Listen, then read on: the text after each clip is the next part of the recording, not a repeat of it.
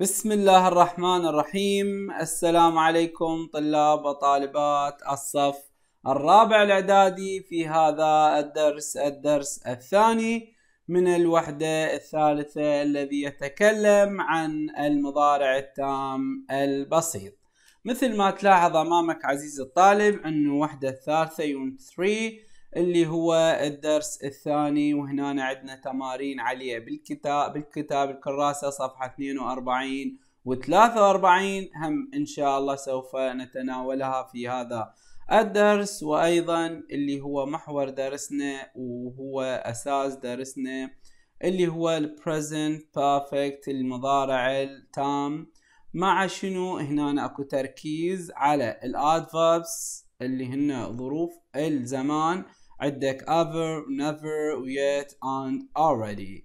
هسه أنا أول أمر راح أشرح الزمن آه بالتفصيل بعدين أشرح ظروف الزمان وآخر شيء أتناول التمارين اللي موجودة بالكراسة. ننتقل ونشوف زمننا. طبعا هذا بصفحة 29 اللي يتحدث لي عن زمننا لهذا اليوم. اللي هو present perfect simple المضارع التام البسيط. مضارع تام بسيط.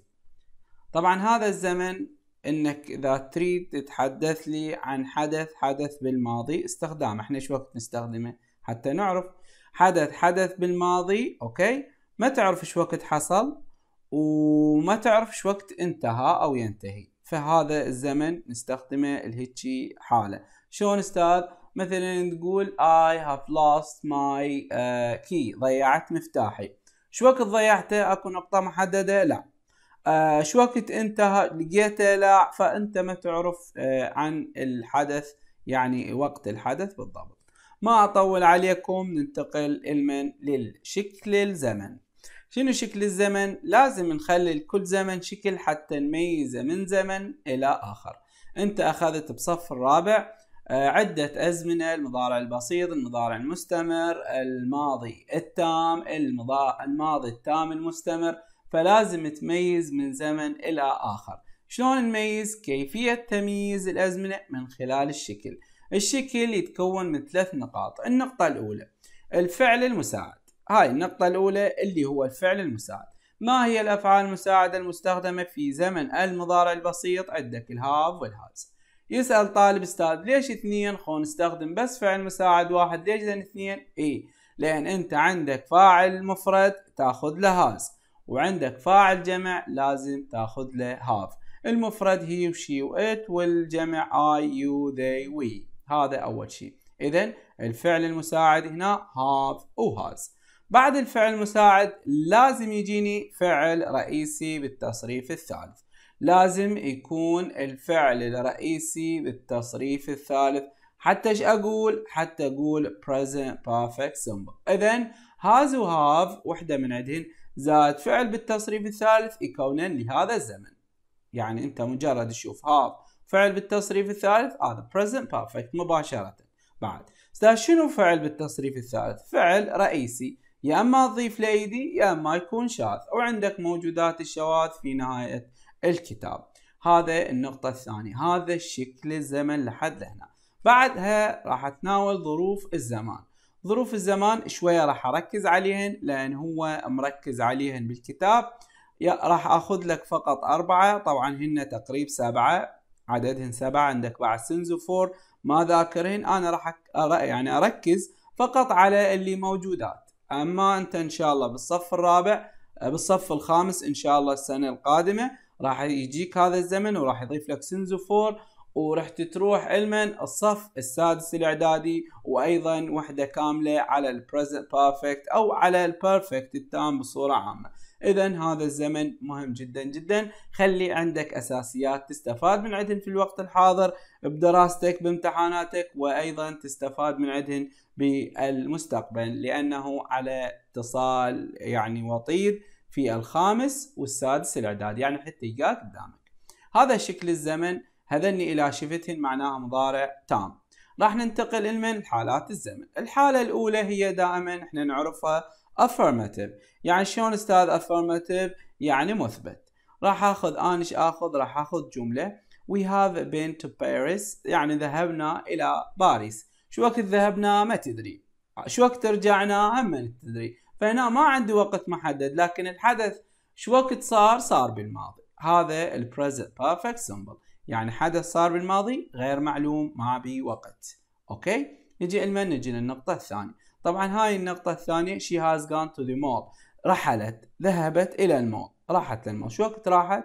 ما تدري. okay؟ وبعد لحد الآن ما رجعت. إيش راح نسوي؟ راح نسوي قاعدة على هذني الجمل. فمثل ما تلاحظ عندك بدينا الجملة ب subject ال subject يعني الفاعل سواء كان اسم أو جمع. هنا ال subject آه يعني جمع خلينا إيش خلينا؟ have لاحظ subject وبعدها have إذا كان شنو؟ جمع. أما هنا بهاي الجملة ال subject she يعني مفرد إيش خليت؟ خليت has اذا subject has إذا كان الفاعل مفرد و have إذا كان الفاعل جمع وبعدها فعل بالتصريف الثالث يا أما يقبل ed يا أما شاذ وأنا اثنيناتهن جايبهن شواذ. هذا بالنسبة لل affirmative. شلون يجي بالامتحان مثل هذا. يعني يجيب لك he leave the school. Correct. okay؟ شو يخلي لك؟ يخلي لك وحدة من هذن الأزمن. واحد من هذن الظروف. واحد من هذن الظروف. بس أنا ما خليت هسه لأن زمن مبين يحكي على present perfect. انت شلون راح تحله؟ طبعا يخلي لك واحد من هذين الظروف never yet already حتى إنك تميزه okay؟ بعد شلون راح تتحله؟ تمشي له على القاعدة. جيب subject يا إما جيب هذا عندي مفرد هو ال subject ينزل بعدين أكيد راح تخلي has بعدين لازم تحول لي هذا الفعل للتصريف الثالث تكمل الجملة وتخلي نقطة. هذا ال correct هاي الجملة عليك أنت اشتغل عليها. بعد عندك؟ عندك negative شنو negative يعني نفي. negative يعني نفي يعني not أوكي يعني لازم تستخدم ل not not وحيدة تشتغل لا إيش تحتاج؟ فعل مساعد. ما هي الأفعال المساعدة بهذا الزمن؟ اللي هن ال have وال has بعد نشوف إيش عندي. مثلا الجملتين اللي أعلاه نفيناهن we haven't been to Paris. إذا سووا مقارنة بين هاي الجملة بالنفي والجملة اللي بالمثبت أعلاه راح تشوف إنه فقط ضفت not. ناخذ الجملة الثانية. She has not gone to the mall. تلاحظ أنت تريد تختصر اختصر. تريد ما تختصر بكيفك.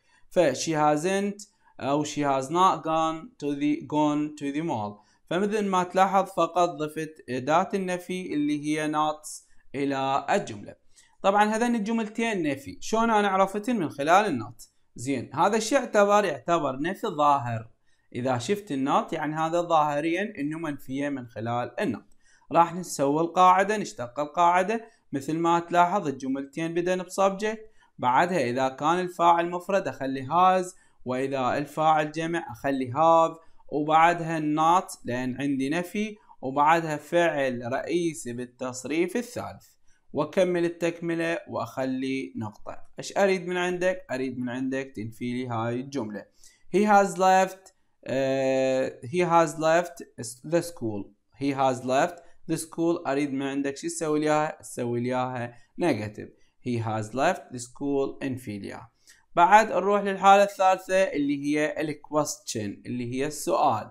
هسه صار عندي affirmative و negative question. question شنو أستاذ؟ يعني نخلي الفعل المساعد بالبداية وبالأخير علامة استفهام.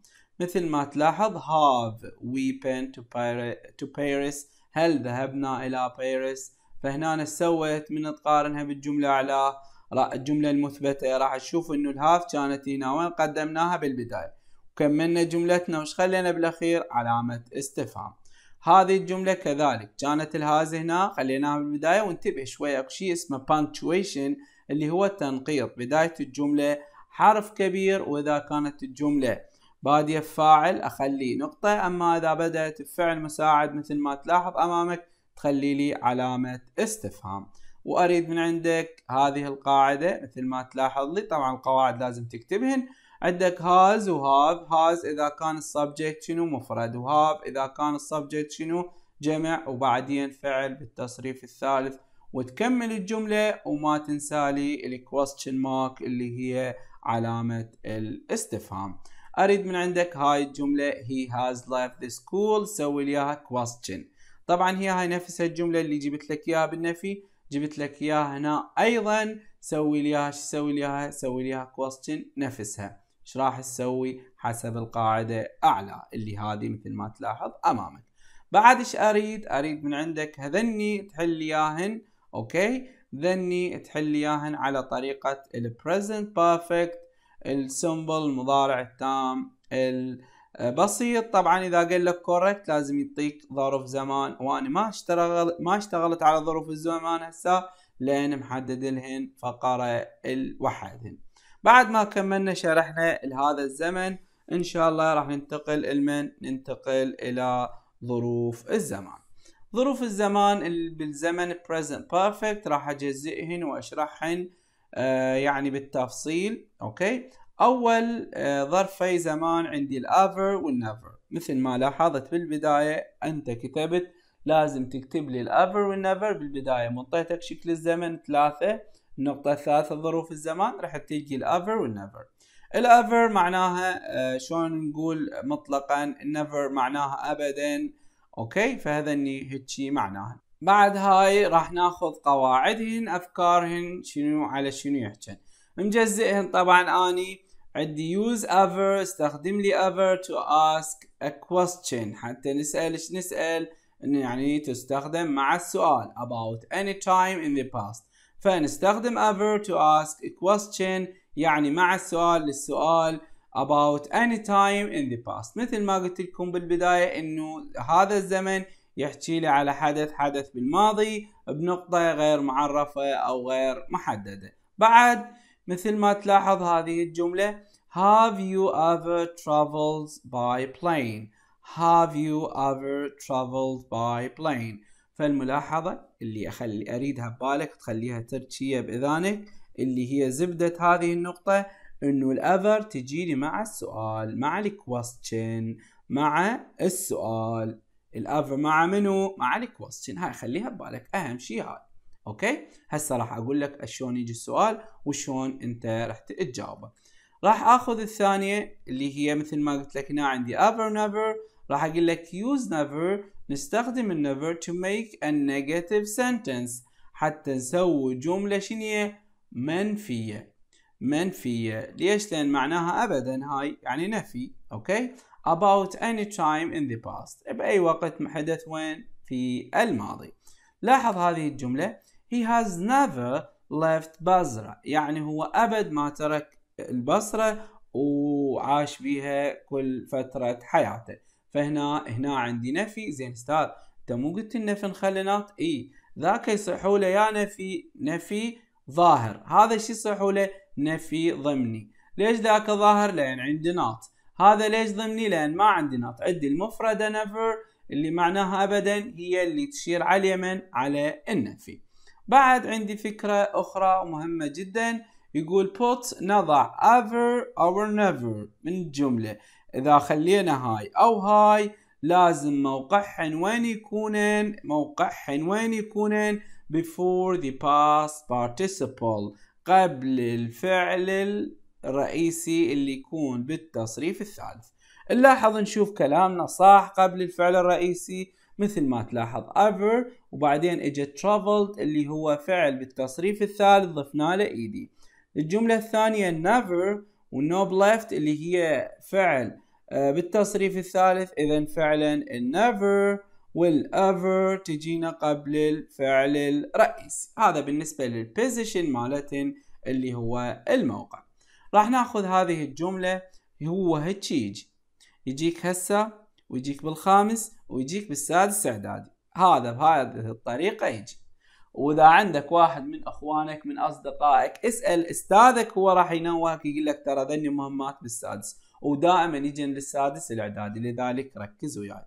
فهنا يقول have you ever never ever never ever eaten Chinese food? يعني انت هم ماكل أكل مطلقا ابدا أكل آه، صيني وكويستشن مارك بما إنك شفت علامة استفهام لازم إيش تختار؟ تختار لي الافر مباشرة. ليش لأن أنا قلت لك الافر مع منو؟ مع السؤال. اذا الافر هي هاي اللي اختارت أما never عادة تكون الجملة منتهية بنقطة مو عادة دائما. دائما الجملة تنتهي بنقطة. يعني هنا إذا جاب لك never و ever بهاي الجملة لازم تختار never لأن مو سؤال. وال ever دائما تجيني ويا السؤال. خليها ببالك هاي. هسه بعد ما كملنا ال ever وال never استخدامهن ومعناهن وموقعهن وش وقت شلون يجي بالامتحان وشلون أجاوبهن. راح ننتقل إلمن راح ننتقل لل yet. اللي معناها لحد الآن. ال yet معناها لحد الآن. مهمة جدا وزاريا وهسه وبعدين ال yet مهمة. هسه راح نشوف ال yet استخدامها. Use yet نستخدم ال yet to make. حتى نسوي a negative sentence جملة منفية or question أو جملة استفهامية. إذا الفكرة هنا الفكرة هنا من ذهب. ال yet تجيني مع الجملة المنفية وتجيني مع ال question ال yet تجيني مع الجملة المنفية وتجيني مع ال question خلي هاي الفكرة ببالك. هسه راح نروح نشوف جملة آه، أو sorry ناخذ بعد مفهوم عليها موقعها ال position اللي, يقول always use but, uh, always put yet. دائما uh, نضع ال yet اللي هي هذه ال yet اداتنا اللي هو الظرف at the end of the sentence. okay? في نهاية الجملة أو نهاية السؤال. مثل ما قلت لك إحنا عندنا negative sentence وعندنا سؤال. موقعها وين دائما تكون؟ في نهاية الجملة أو في نهاية السؤال. هذا البوزيشن هذا الموقع. تجيني مع النفي ومع السؤال. موقعها في نهاية الجملة معناها لحد الآن. لاحظ هذا المثال. They haven't taken the boat ride yet. يعني هم لسه لحد الآن ما صعدوا في ركبة القوارب. تعرف أنه المدينة المائية أو بعض المتنزهات تحتوي على قوارب أو حتى على ضفاف النهر من يرحون نزهة. فهنا يقول they haven't. هم لم يأخذوا ركبة في القارب لحد الآن. قواعديا عندي haven't عندي نفي. بما أنه عندي نفي استخدمت؟ yet زين. حتى لا بالجملة ينطيك الجملة ذن الفعل الرئيسي مثبت okay؟ ويعطيك yet بالأخير ويقول لك correct لازم شو تسوي؟ لازم تنفي. بس شنو الجملة؟ انتهي بنقطة. هذا بالنسبة لمن إلى إذا كانت الجملة منفية. مثل ما قلت لك هي تجي بالنفي وتجي بمن؟ تجي بالاستفهام. Has نادية finished her homework yet? و question mark. إذا تجي بالنفي وتجيني بمن؟ بالسؤال في هذا الزمن اللي هو المضارع التام البسيط. طبعا بعد ما كملت لك إنه آه شلون تجي آه بالأمثلة إن شاء الله راح أقول لك شلون تجي بالامتحان. لاحظ they see the pyramids yet. فهنا هذا الفعل بين قوسين يقول لك correct the verb صحح لي الفعل. مثل ما تلاحظ عزيزي الطالب هنا عندك بالنهاية عندك yet ومنتهية بنقطة. اذا هاي مو جملة السؤال لكن أنت إيش عندك؟ عندك yet اذا قدامك حلين. يا أما تسويها سؤال يا أما تسويها نفي. منتهية بنقطة. اذا ما يريد سؤال. لازم شي يريد لازم تنفي لي هنا فإيش راح تصير الإجابة؟ They haven't seen the pyramids yet. يعني هم لم يروا الأهرامات لحد الآن. فهذا بهاي الطريقة بهاي الحالة مختصر بسيط يت معناها لحد الآن آه، تجيني مع الجملة المنفية والاستفهامية موقعها في نهاية الجملة يجي بهاي الطريقة. نروح المن نروح للأوريدي ونشوف شنو مفاهيمها. والأوريدي بسيطة نوعا ما وقل ما تجي بالامتحانات. ليش؟ راح أنا أقول لك ليش. يقول both use already نستخدم already to make positive sentence our question.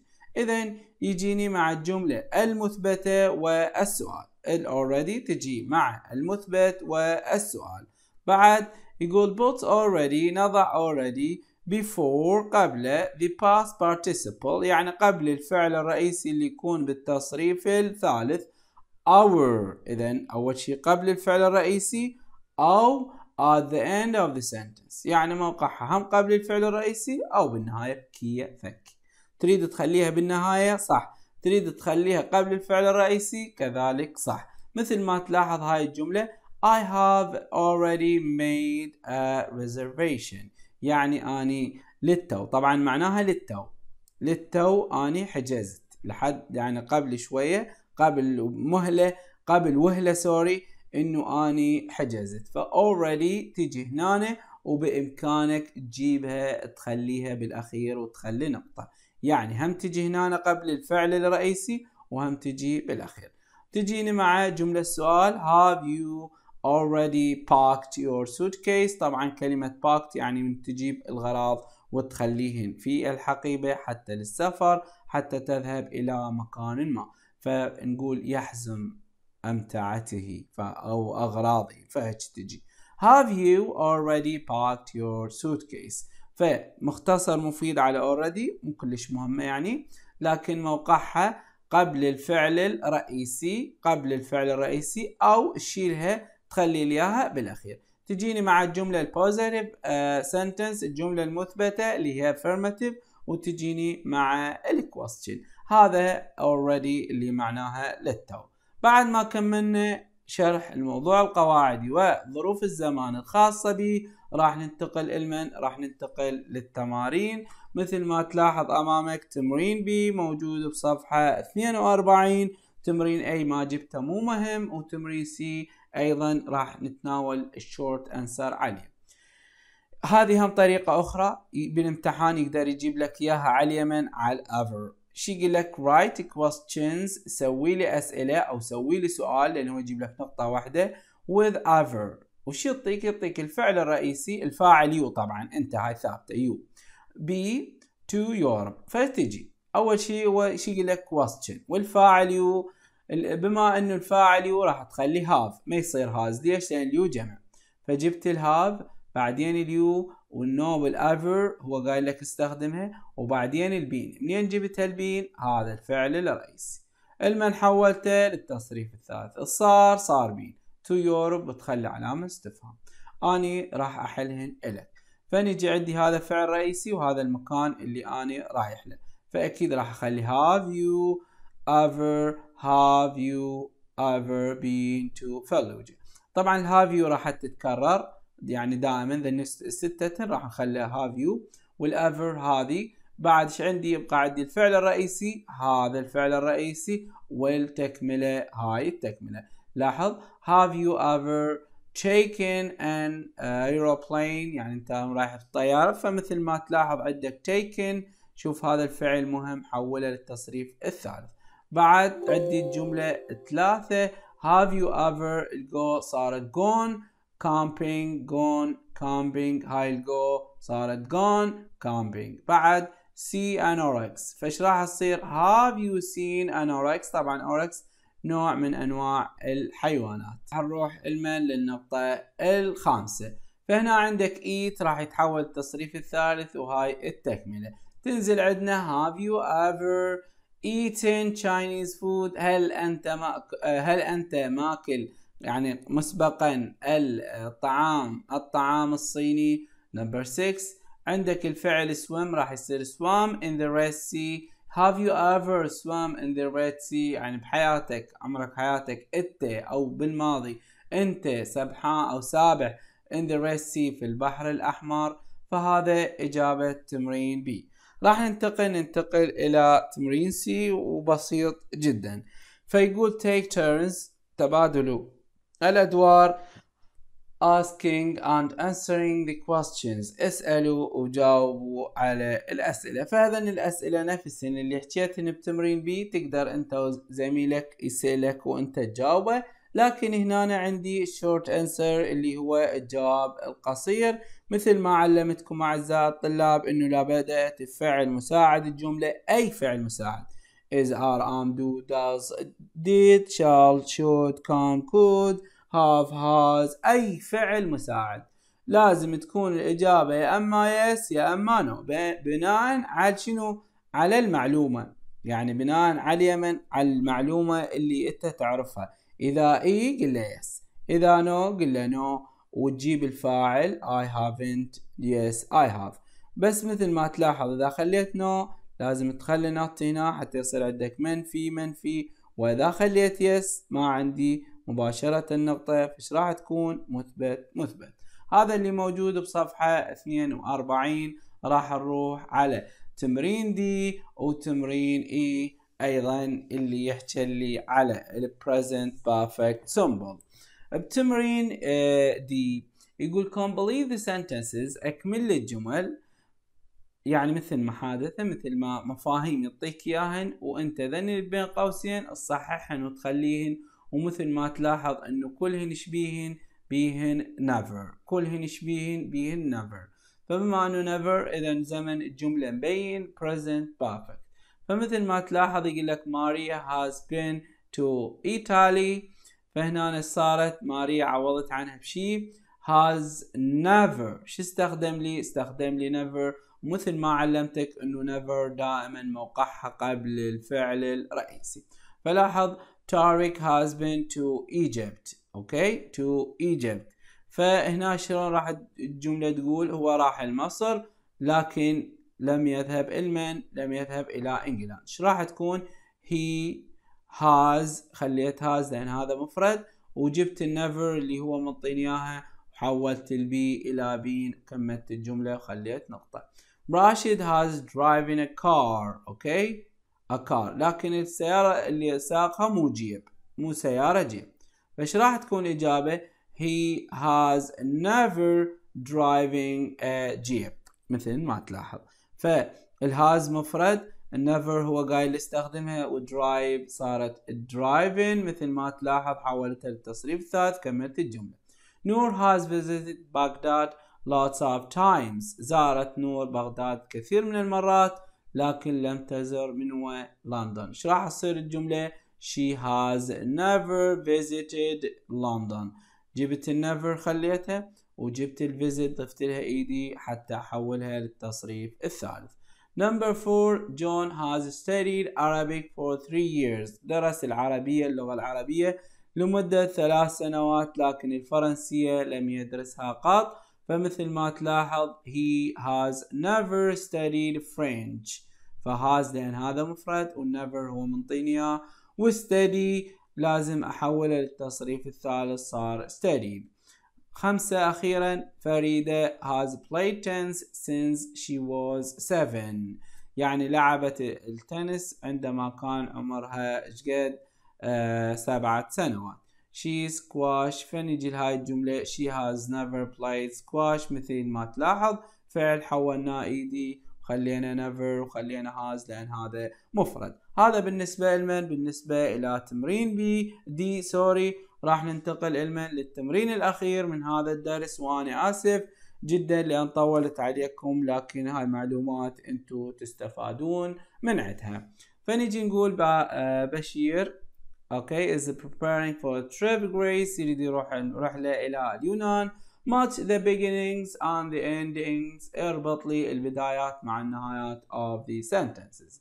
فمثل ما تلاحظ هو جار خط رابط لي اول وحدة. أني ما أجر خط حتى ما تصير خبصة. راح أجيب ذني الأرقام. اخليهن أمام الجمل وأنت تكتبهن بدفترك وحدة مع وحدة. طبعا هذا التمرين مهم جدا جدا. يجيب الفانكشن اللي هي التمارين القواعدية اللي يصير أسفل تمرين القواعد. فنجي he has already decided where to go. هو uh, he has يعني قرر للتو آه، إلى أين سوف يذهب. فهذا ربطها مع هاي. نجي الثانية he has already spoken. يعني هو آه، قبل شوية تحدث علما to the travel agent اللي هو اللي موجود ب شلون مالت الطيران. okay بعد 3 he hasn't called وكالة الطيران هنا تجي. He hasn't called الثالثة. Called the hotel yet. لحد الآن ما اتصل بمن؟ بالهوتيل. وإذا تلاحظ هنا عندك الجملة منفية. عندك هنا بالنهاية؟ yet. إذا yet مع النفي. بعد 3 4 he has already bought قبل شوية أو يعني قبل برهة من الوقت اشترى إيش اشترى؟ صن صن صن كريم اشترى هذا اللي هو شلون يقول الكريم اللي خاص بالشمس اللي آه، يستخدمونه. بعد نمبر 5 he hasn't parked لم يحزم عندي نفي he hasn't عدية لازم. He hasn't parked his suitcase yet. لحد الآن لم يحزم أمتعته. Number 6 وأخيرا he hasn't found his passport yet. لم يجد آه الباسبور اللي هو جواز السفر لحد الآن. طبعا لهنا انتهى درسنا لهذا اليوم.